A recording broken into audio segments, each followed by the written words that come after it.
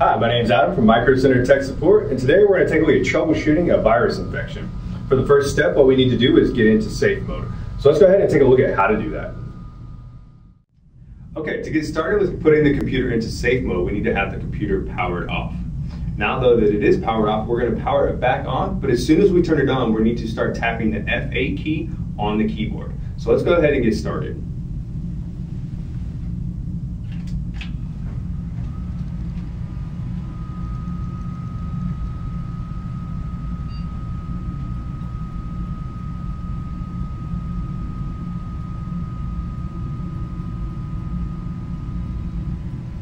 Okay, we now have the advanced boot options, and what we need to do is use the down arrow key and select safe mode with networking. Once it's highlighted, I'm going to go ahead and press enter.